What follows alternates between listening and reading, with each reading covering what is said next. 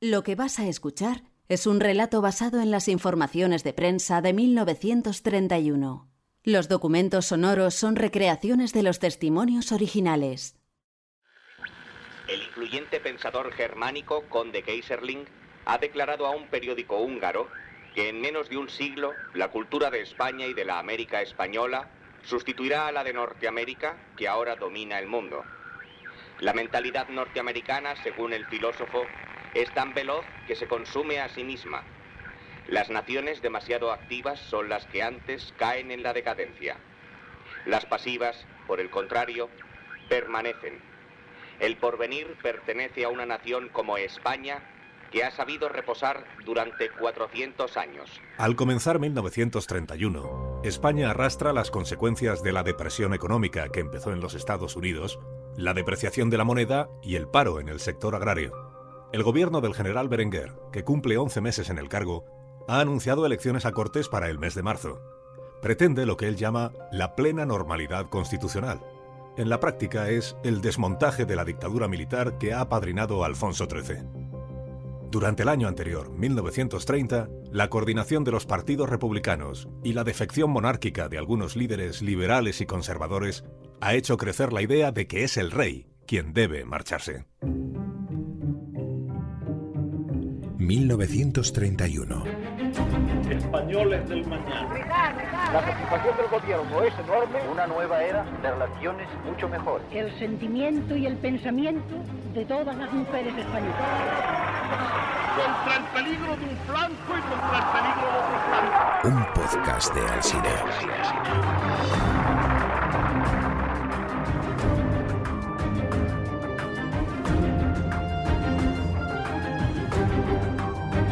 Lo que va a suceder en el nuevo año y que en enero todavía nadie conoce. es fruto de los movimientos políticos y militares que se han ido coordinando en el año precedente. Es 1930, en realidad, el año en el que se fragua todo. Vayamos entonces 12 meses atrás. Enero de 1930. Hay rumores crecientes y fundados de que el rey se ha cansado de Miguel Primo de Rivera. Hay un intento de sublevación militar que no trasciende, liderado por el general Manuel Godet con el aliento de dirigentes políticos republicanos. Se rumorea también, esta vez sin base, que Alfonso XIII se propone abdicar en el príncipe de Asturias para preservar la continuidad de la corona. Primo de Rivera ha camuflado la dictadura inventando una Asamblea Nacional que sustituye al Parlamento auténtico y un intento de partido único, la Unión Patriótica que él mismo acaudilla. Al empezar 1930, el general, incómodo por el distanciamiento del monarca, comete el error de pedir opinión a sus compañeros de armas. El ejército y la marina me erigieron dictador, unos con su adhesión, otros con su consentimiento.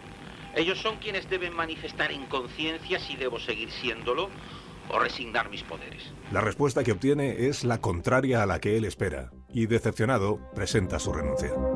Como nuevo presidente del Consejo de Ministros, el rey escoge a Damaso Berenguer, condenado en Consejo de Guerra por su negligencia en el desastre de anual de la Guerra de Marruecos y posteriormente indultado. El relato gubernamental sostiene que la dictadura ha terminado con la dimisión de Primo de Rivera. Como primera prueba de ello, el gobierno procede a amnistiar a todos los condenados por acciones contra el gobierno anterior y a poner en libertad a los estudiantes detenidos por organizar huelgas y protestas. A los profesores que fueron apartados se les devuelven sus cátedras. Miguel de Unamuno es aclamado por una multitud en Irún al cruzar el puente de Endaya y dar por terminado su exilio en Francia. El escritor, emocionado, hace una evocación lírica de su niñez en Bilbao mientras el público espera un discurso político. Concluye con esta frase. Hay que sustituir el lema Dios, patria y rey por el de Dios, patria y ley. Indalecio Prieto, que está a su lado, se levanta de un salto y le reconviene. ¿Qué Dios, patria y ley ni qué ocho cuartos? O con el rey o contra el rey. Con la monarquía o con la república. Entre los primeros nombramientos del nuevo gobierno está el del general Emilio Mola como director general de seguridad. Su elección produce sorpresa porque pasa por ser enemigo de la dictadura y por tener inclinación republicana. Es el propio Berenguer el que alimenta esa idea cuando en la toma de posesión Mola le pregunta por sus planes. ¿Piensa usted hacer unas elecciones sinceras? Completamente sinceras, se lo aseguro. ¿Y espera conseguir una mayoría monárquica? Estoy convencido de ello. Aunque usted, Mola, lo dude, España es monárquica. Ahora estamos sufriendo los efectos de seis años y pico de dictadura, pero todo se normalizará y antes de un año usted podrá volver a sus soldados y yo a mis estudios sobre arte. A Mola le corresponderá informar al presidente del gobierno y al rey sobre la fuerza real de los partidos republicanos, las organizaciones sindicales y anarquistas y los planes de agitación revolucionaria. Y también sobre la personalidad de las figuras más activas dentro de cada movimiento. Amigos y correligionarios, el Grupo de Acción Republicana delega en mí para llevar la voz en este acto. Manuel Azaña no ha pasado de ser hasta entonces un intelectual de prestigio respetado en círculos reducidos como el Ateneo de Madrid y desconocido en la práctica para la mayoría de los ciudadanos. Se ha querido dar al país la impresión falaz de que la restauración del derecho ha comenzado con solo caer el gobierno de Primo de Rivera. Es un engaño que estamos obligados a desenmascarar. Acción Republicana es una pequeña agrupación política que aboga por el laicismo, la transformación del ejército y la reforma agraria. Azaña militó antes en el Partido Reformista de Melquía de Álvarez, una formación republicana, pero que admite la monarquía siempre que antes se cambie la constitución para limitar el poder del rey. Esta posición, llamada posibilista, es rechazada por los demás partidos republicanos. La cuestión principal no se ha resuelto. La libertad sigue en secuestro. Declara el gobierno que viene a pacificar los espíritus. Nosotros no queremos esa paz.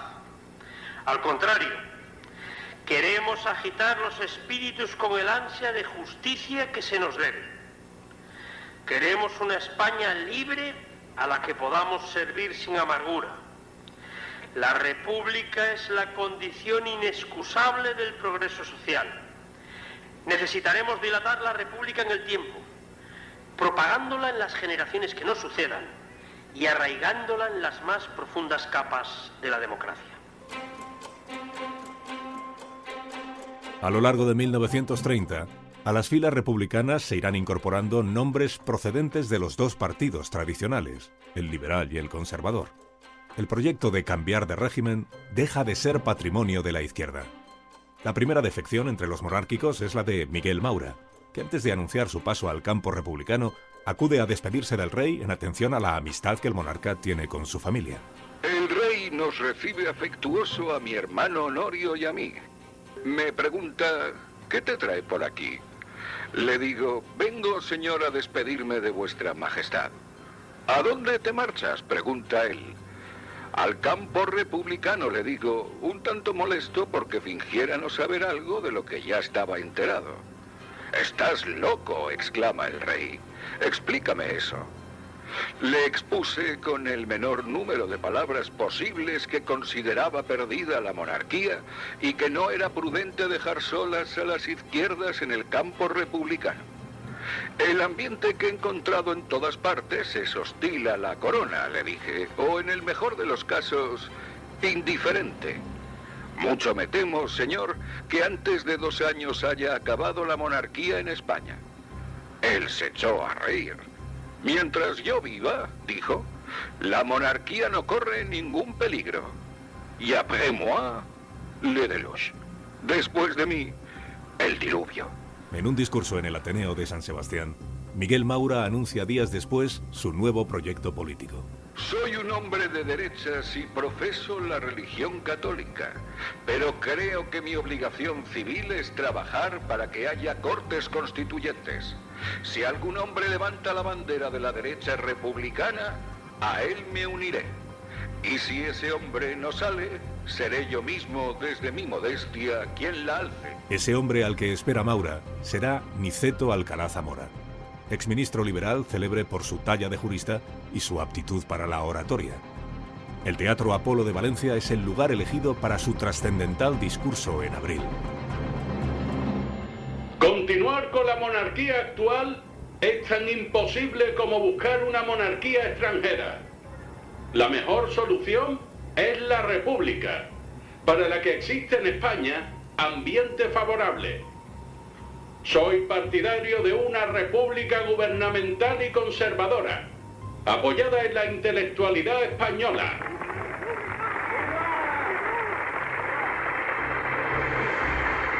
Alcalá Zamora recorrerá el país exponiendo su programa para una república que respete la religión, la escuela y la propiedad privada. De su mano, muchos ciudadanos conservadores dejarán de percibir el régimen republicano como sinónimo de desorden. Antes que él, ha tenido amplio eco en la prensa el discurso del expresidente del gobierno, José Sánchez Guerra. Era el líder del Partido Conservador en las últimas elecciones generales y ha vivido en París expatriado los últimos años, enfrentado a la dictadura. Una larga ovación le recibe cuando aparece en el escenario del Teatro de la Zarzuela de Madrid. Si estos aplausos representan vuestra conformidad, no solo los agradezco, sino que los acepto, porque en conciencia creo merecerlos. Sánchez Guerra se pregunta en voz alta, ¿qué ha sucedido en España para que muchos antiguos monárquicos se estén pasando a las filas de la República? Lo que ha pasado es una dictadura, una dictadura cruel con las gentes humildes, vejadas, atropelladas y arruinadas. Ahora no puede decirse borrón y cuenta nueva. Eso no puede ser. Antes de ir a la cuenta nueva, hay que analizar el borrón. El orador recurre entonces a una décima atribuida a Góngora que relata la muerte del conde de Villamediana. Mentivero de Madrid, decidme quién mató al conde. Ni se sabe ni se esconde. Sin discurso, discurrir. Dicen que lo mató el Cid, por ser el conde Lozano. Dispara, Chabacán. La verdad del caso ha sido que fue el dictador Bellido y el impulso, Soberano. El aliento del rey a la dictadura es un hecho para el líder conservador. Y la responsabilidad del monarca al apartarse de la Constitución también. Quiero fijar de un modo definitivo mi postura personal. Y refugiándome como antes en la literatura, la expresaré con las palabras que mi paisano el duque de Rivas puso en boca del duque de Gandía al contemplar el cadáver de doña Isabel. No más abrasar el alma, en sol que apagarse puede, no más servir a señores que en gusanos se convierten.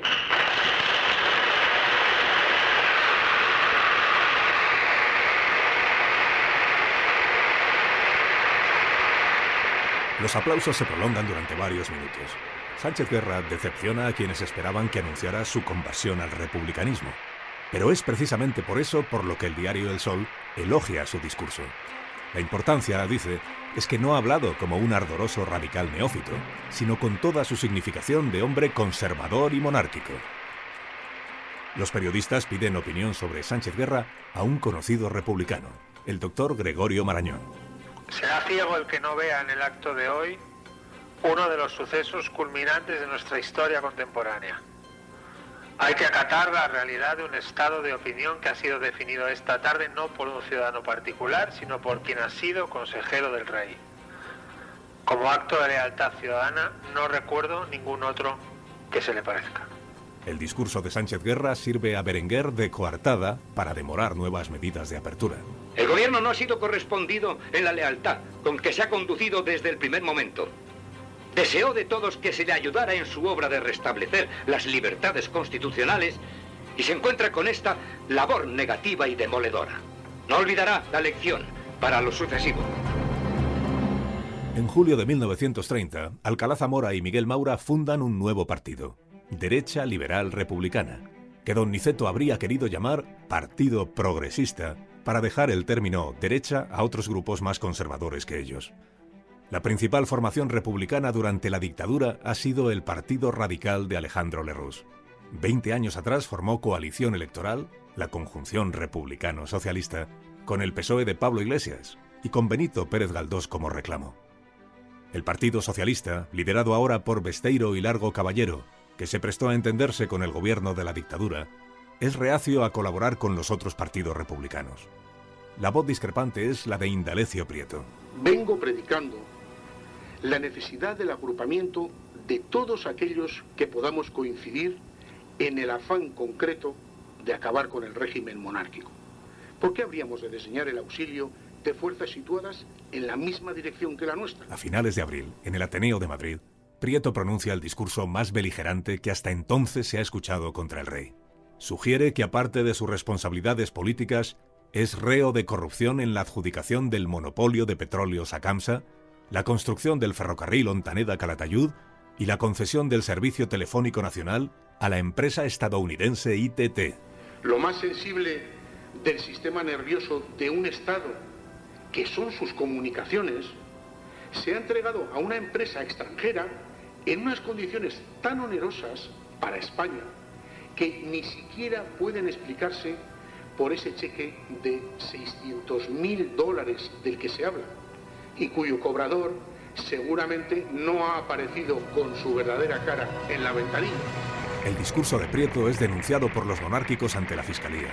La censura vigente impide que las poco veladas imputaciones al rey vean la luz en los diarios, pero el texto íntegro del discurso, impreso clandestinamente, circula en millares de copias los días siguientes.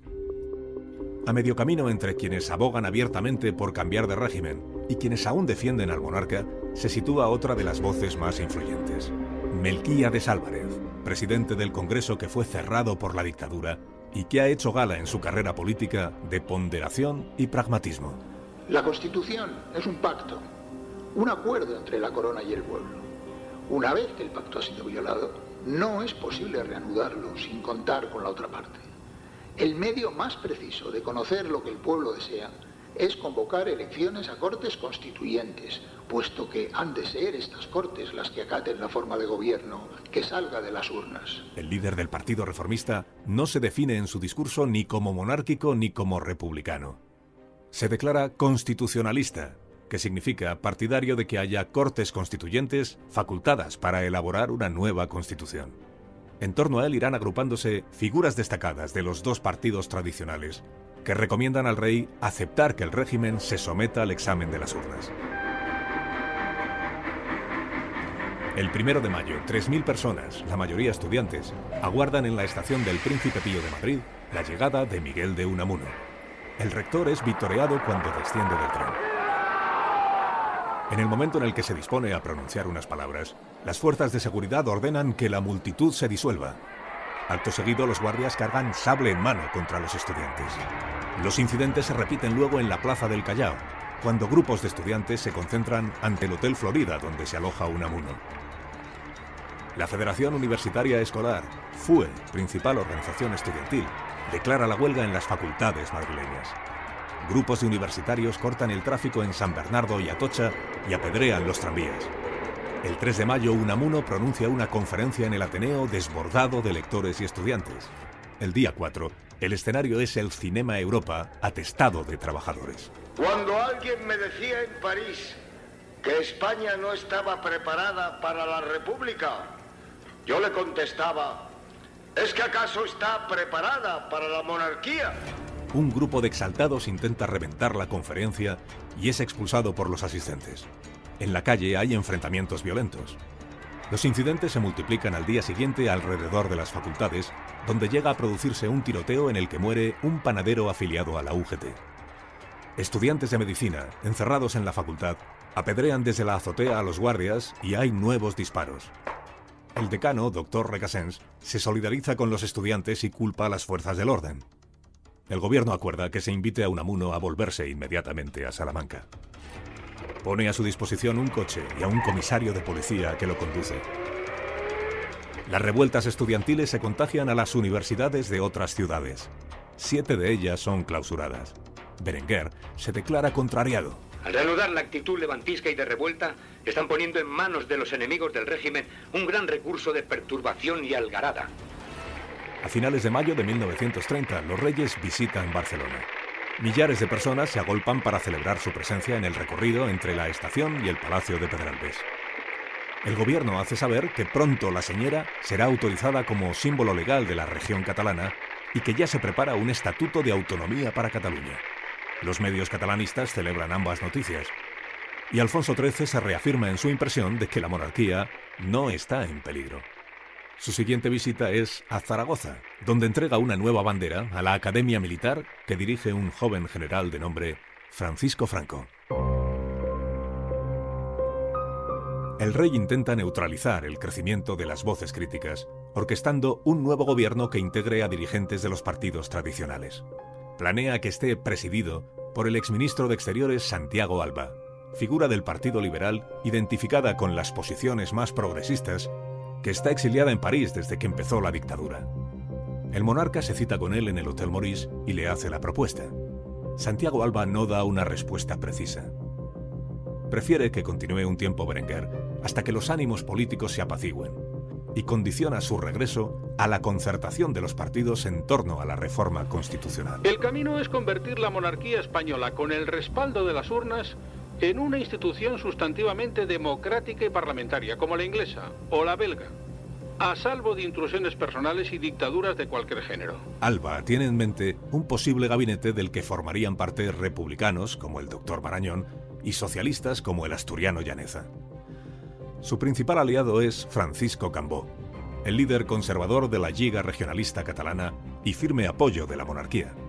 La reacción crítica que el plan ALBA cosecha entre los partidos republicanos y las dudas que este mismo tiene respecto de las maniobras de su correligionario romanones convertirán el proyecto en papel mojado. A mediados del verano, el rey confirma en su puesto al general Berenguer. En agosto, las formaciones republicanas constituyen su gobierno en la sombra. El escenario es un local del Círculo Liberal de la calle Garibay de San Sebastián. Es 17 de agosto de 1930. De la reunión no se levanta acta, tampoco de las decisiones que allí se toman. Alcalá Zamora contará tiempo después que de las tres horas que duró la reunión, dos las ocupó la cuestión catalana. Todo lo que quedará por escrito es la nota que elabora Indalecio Prieto al terminar la reunión en una mesa del bar España. Se reunieron esta tarde don Alejandro Lerroux y don Manuel Azaña por la Alianza Republicana, don Marcelino Domingo, don Álvaro de Albornoz y don Ángel Galarza por el Partido Republicano Radical, don Niceto Alcalá Zamora y don Miguel Maura por la derecha liberal republicana, don Manuel Carrasco por la Acción Catalana, don Matías Mayol por la Acción Republicana de Cataluña, don Jaime Iguadé por el Estat catalá y don Santiago Casares Quiroga por la Federación Republicana de ayer. Estas son las formaciones republicanas del país. El Partido Socialista no está presente en la reunión como tal partido, aunque sí a título personal, Indalecio Prieto. Asistieron como invitados con carácter personal don Felipe Sánchez Román, don Eduardo Ortega y Gasset y don Indalecio Prieto, no habiendo podido concurrir don Gregorio Marañón, ausente en Francia, y de quien se leyó una entusiasta carta de adhesión. Sobre los acuerdos alcanzados da apenas detalle la nota de Prieto. Menciona solo que todas las resoluciones se tomaron por unanimidad y que se pactó buscar con ahínco la adhesión de las demás organizaciones políticas y obreras a la acción que pretenden emprender las fuerzas opuestas a la monarquía.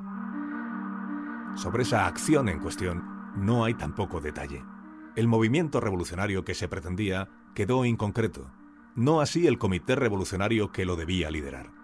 Lo preside Alcalá Zamora y lo integran Azaña, Prieto, Domingo, Albornoz y Maura es el gobierno de una república hipotética y que todos ellos ven aún lejana. Los tres partidos catalanes presentes en la reunión han planteado desde el primer minuto que la república para ellos es solo un medio para alcanzar el objetivo que de verdad les importa, la plena autonomía de Cataluña. Esta es la versión de Miguel Maura. Es el señor Carrasco Formiguera quien declara que a ellos no les interesa esta reunión si no empieza por convenirse que el nuevo régimen republicano dará a Cataluña el derecho de autodeterminación que ésta reclama. Según Maura, son él e Indalecio Prieto quienes con más vehemencia replican. Yo alegué que por ese camino íbamos derechos a la guerra civil, que era lo contrario a la república que buscábamos.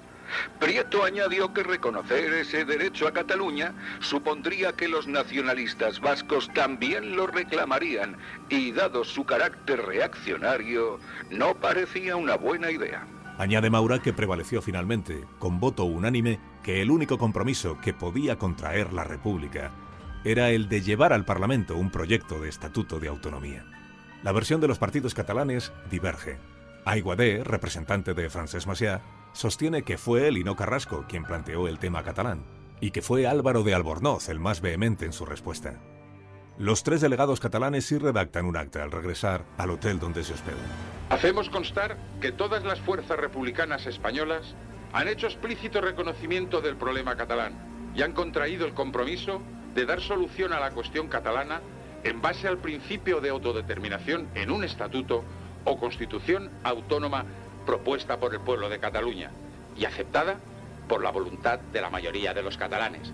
Para la elaboración del texto se reunirán ayuntamientos y las diputaciones catalanas, lo que en la práctica puede llamarse el Parlamento de Cataluña. Aunque el Partido Socialista no asiste al Pacto de San Sebastián, Prieto comunica lo acordado allí a Besteiro y Largo Caballero. Ambos han sido hasta ahora partidarios de la reforma institucional pacífica, pero tras reunirse con Prieto y con Azaña, acuerdan prestar su apoyo al Comité Revolucionario. Largo Caballero pone como salvedad que la UGT solo recurra a la fuerza si es para responder a una actuación violenta y previa del ejército. Aceptada la condición, él mismo se incorpora al gobierno en la sombra surgido del Pacto de San Sebastián. Al tiempo que el comité empieza a debatir hasta dónde deben llegar las reformas de la futura república, se inicia también el contacto con los círculos militares más críticos con la dictadura. Entra en escena el general Gonzalo Queipo de Llano. Entre algunos oficiales se había considerado oportuno constituir un comité militar por la República del que querían que yo fuese presidente. Contesté que estaba dispuesto a contribuir personalmente al derrumbamiento del régimen, siempre eso sí, que el movimiento tuviese garantías de seguridad, y al dármelas acepté en el acto. Es este comité de militares republicano con el que pactará Alcalá Zamora.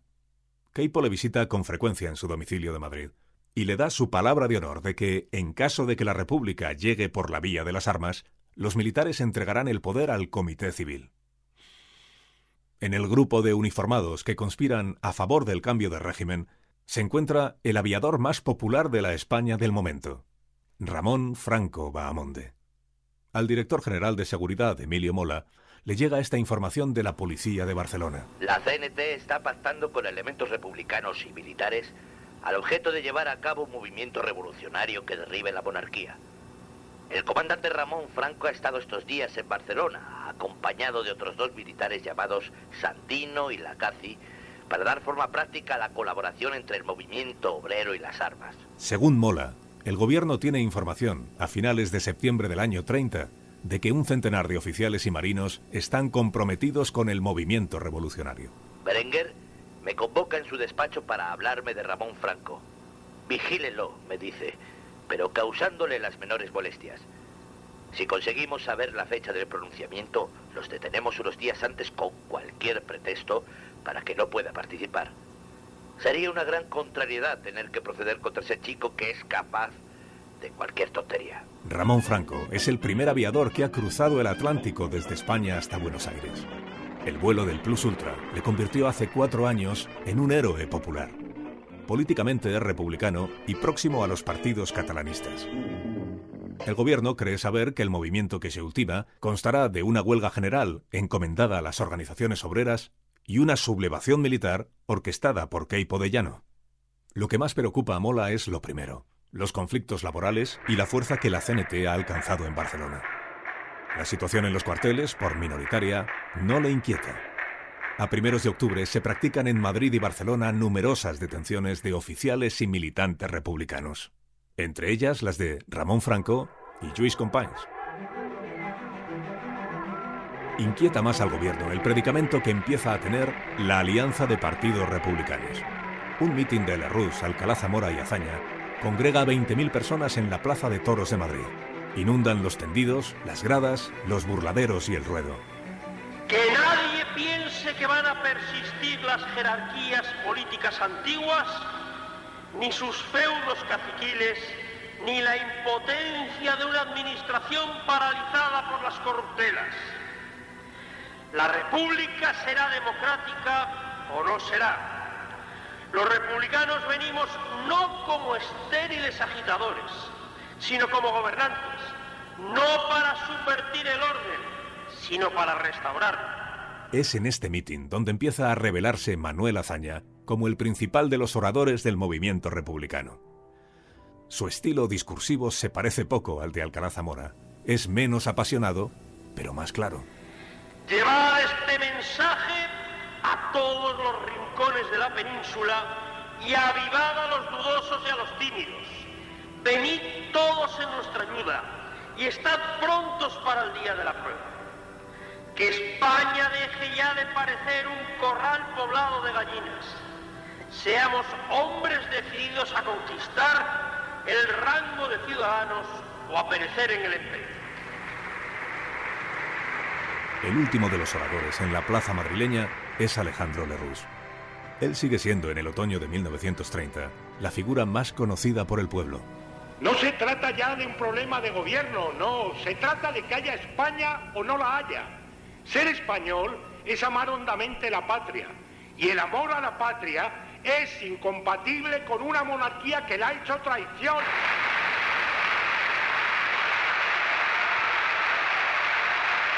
Lerroux es el líder más popular, Ortega y Gasset es el pensador más leído. El 15 de noviembre publica en el diario El Sol un artículo demoledor contra el gobierno y la corona. Su título, El error Berenguer. El error no es de Berenguer, el error es él. España ha sufrido durante siete años un régimen de absoluta anormalidad en el poder político, el cual ha usado medios de tal modo anormales que nadie recuerda que hayan sido nunca usados ni dentro ni fuera de España. La dictadura ha sido un poder omnímodo y sin límites, que no solo ha operado sin ley en el espacio público, sino que ha penetrado en el orden privadísimo, brutal y soezmente.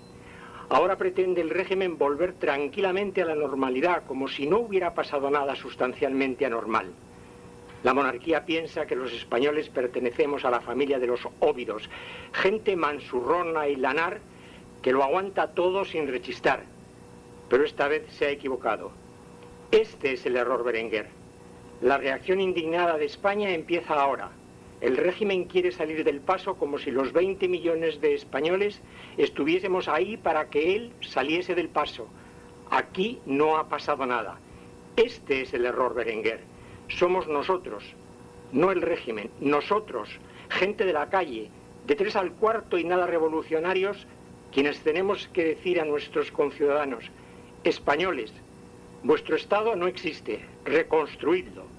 De lenda es monarquía. Los preparativos de la sublevación militar, en alianza con las organizaciones obreras, se aceleran. Hay transporte clandestino de armas para abastecer a grupos de estudiantes que se encargan de proteger el Ateneo madrileño, sede oficiosa del Comité Republicano. Queipo de Llano urge a Alcalá Zamora a poner fecha al levantamiento, no más allá del 22 de noviembre. Él me expuso todas las dificultades que se presentaban, la menor de la cual no era encontrar 32.000 duros para comprar armas y asegurarse algunas voluntades.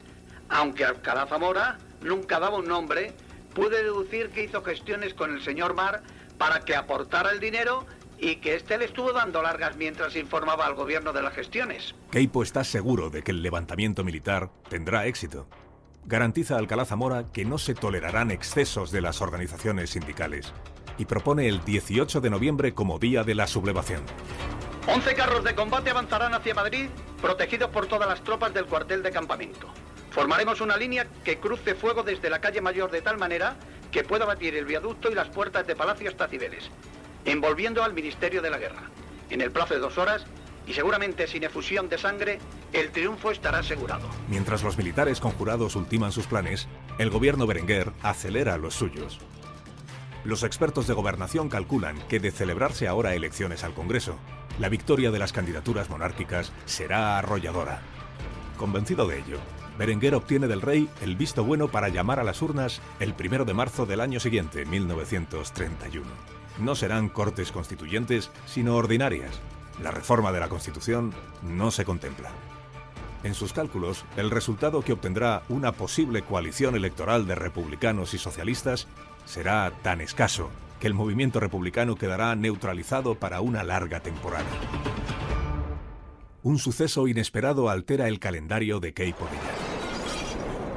En la calle Alonso Cano de Madrid se hunden las seis plantas de un edificio en construcción. Los obreros que han resultado ilesos acuden en socorro de los que están atrapados y cuatro de ellos mueren sepultados por bloques de cemento. La indignación se extiende entre todos los obreros de la construcción, que culpan a los patronos de la baja calidad de los materiales. el entierro de los trabajadores muertos, en cortejo fúnebre, recorre el Paseo del Prado hasta Cibeles. En este punto, los trabajadores resuelven que en lugar de encaminarse ya hacia el cementerio del Este, la comitiva ha de pasar por la Puerta del Sol, donde está el Ministerio de Gobernación. Varios hombres toman las riendas de los coches fúnebres e intentan acceder a la carrera de San Jerónimo. Los guardias tratan de impedirlo. Les llueven piedras y reaccionan echando mano a los fusiles y las pistolas. La multitud huye del Paseo del Prado, pero en la plaza de Cánovas quedan tendidos dos trabajadores muertos y varios heridos. Al día siguiente se declara la huelga general en Madrid, que se extiende después a Barcelona, Granada y Alicante. El movimiento militar que Keipo había fijado para el 18 de noviembre se aplaza por estos incidentes hasta el día 26. Pero ocurrirá algo que le obligará a aplazarlo de nuevo. Ramón Franco no quería, bajo ningún concepto, que el movimiento estallase estando él preso. De modo que urdió la fuga para la noche anterior, poniendo en guardia Mola. En efecto, la madrugada del 25 de noviembre, Franco escapa de la prisión militar. La versión oficial dice que fueron cerrados unos barrotes, pero la impresión general es que tuvo ayuda desde dentro. Fuera le aguarda a su compañero, Rada, en un coche en marcha que ha prestado un catedrático de fisiología llamado Juan Negrín. Durante días los periódicos se preguntarán dónde está Franco. El aviador hace llegar unas cuartillas al redactor jefe del Heraldo relatando su evasión. El 6 de diciembre el Heraldo protesta porque la censura le ha impedido publicar el reportaje. El gobierno nos impide publicarlo, dice. Nuestros lectores no podrán saber por ahora cómo se produjo la fuga. Consuélense pensando que tampoco lo saben quienes deberían saberlo.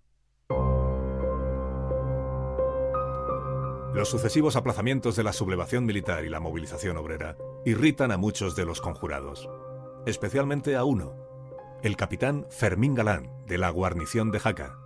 Tiene 31 años y se ha reincorporado al servicio ahora, amparado por la amnistía que decretó Berenguer, tras cumplir condena por su participación en el pronunciamiento militar contra la dictadura en el año 25, la Sanjuanada. Galán simpatiza con el movimiento anarquista y a juicio del Comité Revolucionario es impulsivo e impaciente. El capitán viene sosteniendo que hay que proceder cuanto antes, porque el calendario avanza y las nevadas dificultan los movimientos en el Pirineo manifiesta seguridad absoluta en poder adueñarse de la guarnición de Jaca y marchar hacia Huesca para tomar la ciudad antes de hacer lo propio con Zaragoza. Keipo fija por fin el alzamiento para la semana del 13 de diciembre, sábado, pero un último retraso lo situará en el lunes 15. A las seis y media de la mañana del viernes 12 de diciembre, la rebelión comienza en Jaca. Aunque el Comité Revolucionario ha enviado a Casares Quiroga con la misión de informar a Galán de que aplace la sublevación al lunes, la reunión entre ambos no ha llegado a producirse. Casares, que llegó de madrugada, se ha ido a dormir al Hotel La Paz. Cuando amanezca estarán sonando ya los disparos.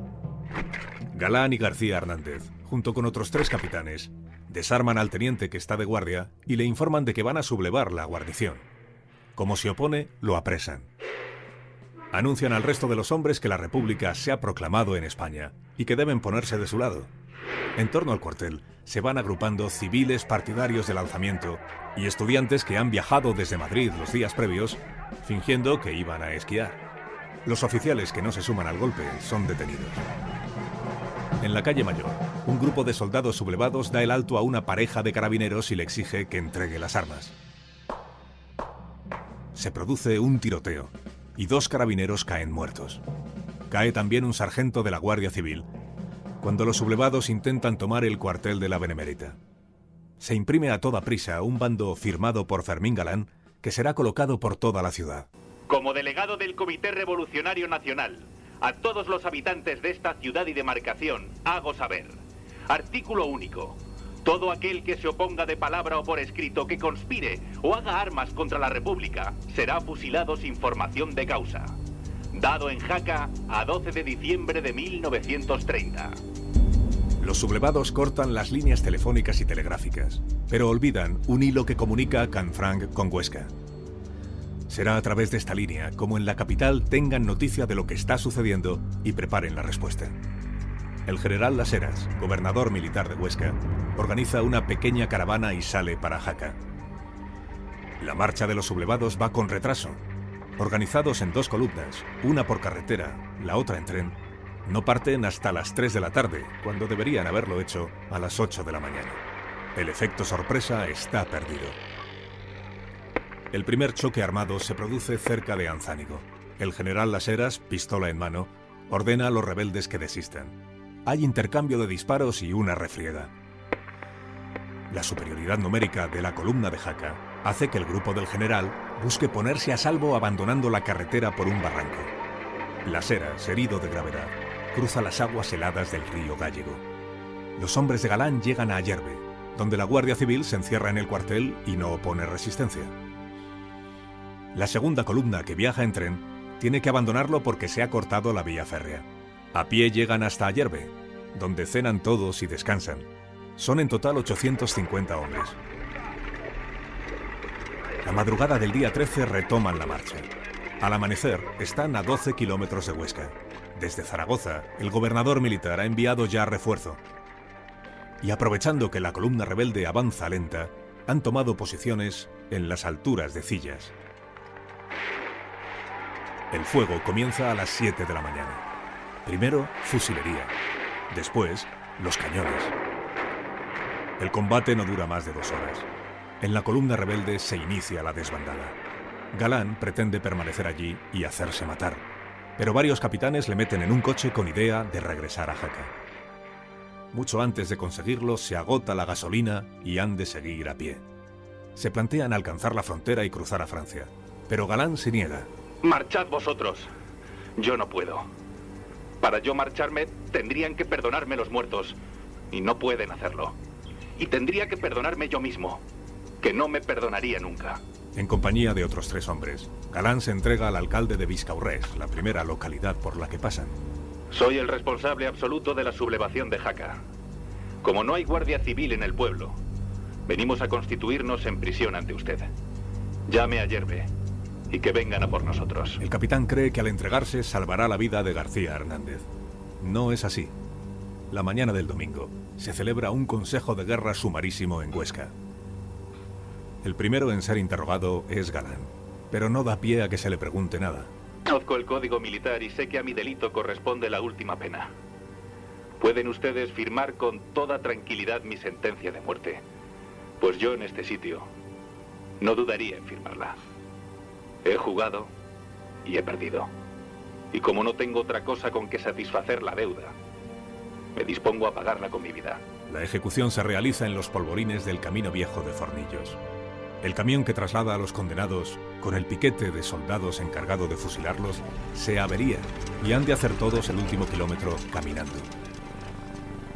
De espaldas a la tapia se colocan Galán y García Hernández, mirando al piquete. Ambos renuncian a la venda que se les ofrece. Es Galán quien da la última orden. ¡Fuego! ¡Y viva la República!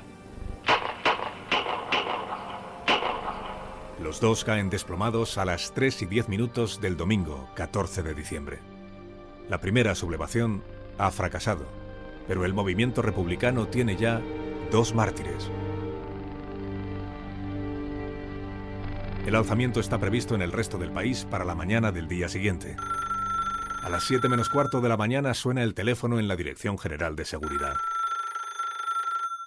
Es el telegrafista de guardia para informar a Mola. Le molesto, señor director, porque me dice la central del Palacio de Comunicaciones que han llamado repetidamente a Cuatro Vientos para comunicar como cada día el parte meteorológico y han contestado con cierta guasa que hoy no les interesa porque tienen cosas más importantes que atender. A esa hora el aeródromo de Cuatro Vientos está tomado por los sublevados, pero no se ha producido en Madrid la movilización obrera que era parte del plan.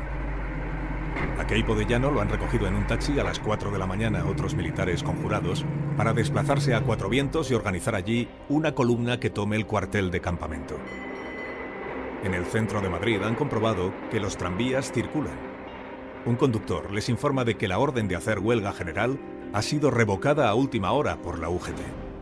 El comandante Hidalgo de Cisneros narra así la llegada a Cuatro Vientos. Despedimos el taxi y nos dirigimos a la entrada, donde el cabo de guardia nos abrió la puerta, pensando que éramos los oficiales que solían dormir en la residencia.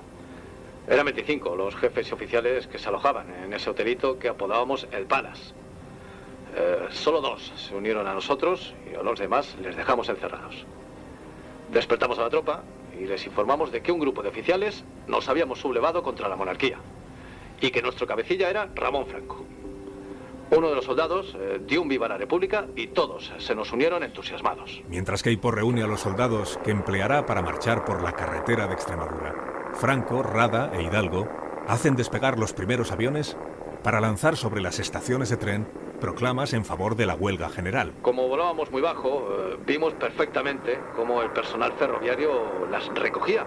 En el siguiente vuelo, de hecho, pudimos observar con gran disgusto que la circulación de coches y tranvías continuaba y que en las estaciones eh, los trenes entraban y salían. La huelga no se había declarado. Franco decidió entonces eh, bombardear el Palacio Real para cambiar la situación en Madrid. Salió con su avión, cargado de bombas, pero regresó sin haberla soltado. Cuando le preguntamos, nos contestó que en la Plaza de Oriente había muchos niños y que no se atrevió a bombardear. A medida que avanza la mañana, el fracaso de la sublevación se confirma. La columna de Queipo se repliega para proteger el aeródromo del avance de la artillería que ha enviado el gobierno. En el último vuelo tiramos las proclamas volando bajísimo. Estaba tan indignado que metí el avión casi dentro de las calles, para que se diesen cuenta de que en cuatro vientos eh, estábamos sublevados. Cerca del Hotel Palace, al dar una pasada casi rascando los tejados, vi a un señor, y a un señor que contemplaba tranquilamente la cartelera de los teatros. Así que si aquel tipo estaba pensando a qué teatro iría por la tarde, es que nada podíamos esperar los sublevados. Los cabecillas del alzamiento, fracasados, emprenden entonces vuelo a Portugal. Pesa en el ánimo de todos ellos el fusilamiento de Galán y García Hernández en Huesca. A diferencia de Madrid, la huelga general sí se declara en Barcelona, Valencia, Bilbao y Coruña, entre otras ciudades. En San Sebastián hay un intento de asalto al gobierno civil. En Santander y Zaragoza hay enfrentamientos entre grupos obreros y fuerzas del orden. Los incidentes se prolongan durante días en varias ciudades. La mayor violencia se registra en la provincia de Alicante, donde los revolucionarios cortan las comunicaciones, toman centros oficiales y proclaman la República en varios pueblos. Pero cinco días después, el gobierno da todas las revueltas por sofocadas. Además, y en las horas previas al 15 de diciembre, Mola ha detenido a los miembros del Comité Revolucionario a los que ha podido encontrar en Madrid. Alcalá Zamora, Albornoz y Maura. A Casares lo detienen en Jaca. El día 19 son detenidos Largo Caballero y Fernando de los Ríos. Azaña, Lerrus, Prieto, Martínez Barrio y Marcelino Domingo permanecen escondidos. Antes de su detención, Largo Caballero ha dado curso al manifiesto revolucionario que redactó el comité con vistas al éxito de la insurrección. El primero de los nombres que aparecen al pie es el de Alcalá Zamora, aunque la redacción, tras un primer borrador de Prieto y otro de Don Niceto que no convencen al resto, corresponde a Alejandro Lerroux. Españoles, surge de las entrañas sociales un profundo clamor popular que demanda justicia y un impulso que nos mueve a procurarla. Venimos a derribar la fortaleza en que se ha encastillado el poder personal, a meter a la monarquía en los archivos de la historia. El pueblo el pueblo ya está en medio de la calle y en marcha hacia la República. De ella saldrá la España del porvenir y un nuevo estatuto inspirado en la conciencia universal que pide para todos los pueblos igualdad económica y justicia social. Nosotros, conscientes de nuestra misión y de nuestra responsabilidad, asumimos las funciones del poder público con carácter de gobierno provisional. ¡Viva España con honra! ¡Viva la República! En la primera propuesta de Lerroux, el comienzo del manifiesto era algo distinto. Decía, de las entrañas del pueblo surge un clamor nacional. Le dijimos a don Alejandro que eso parecía el comienzo de un cantar. Pues la copla estaba casi completa, porque salió un tercer verso en rima consonante. Llegado el final de 1930, naufragado el alzamiento, encarcelados sus impulsores políticos y expatriados sus líderes militares, el gobierno Berenguer ve despejado el camino para su plan de convocar elecciones a cortes ordinarias. La convicción que traslada al monarca es que el movimiento republicano carece de fuerza para derrocar al régimen por las armas y evidenciará su escaso respaldo popular cuando se abran las urnas y se proceda al recuento. La monarquía deja atrás el peligro. La continuidad de Alfonso XIII está garantizada para muchos años. Eso cree. Eso cree. 1931. Han puesto sus voces a este episodio Chema Oleaga, Ignacio Fernández Sobrino, José Antonio Zarzalejos, Nacho Ayuso, José Luis Gómez, Alejandro Fernández, Borja Fernández Sedano, Manolo Prieto, José Luis Gil, Antonio Alfonso, Ignacio Varela, Antonio Casado, José Antonio Alaya, Roberto Gómez, Agustín Jiménez, Andrés Moraleda, Pablo Albella y Diego Fortea. Dirección de actores Carlos Zumer. Producción María Jesús Moreno. Montaje sonoro Carlos Alsina.